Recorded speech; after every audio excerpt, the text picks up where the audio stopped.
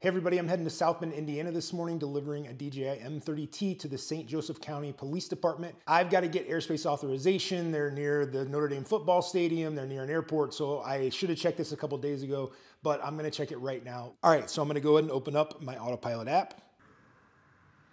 Okay, it opens up, it shows me where I'm at currently, but I wanna go ahead and search. I've already got the address of where I'm going, so I'm just gonna paste it in.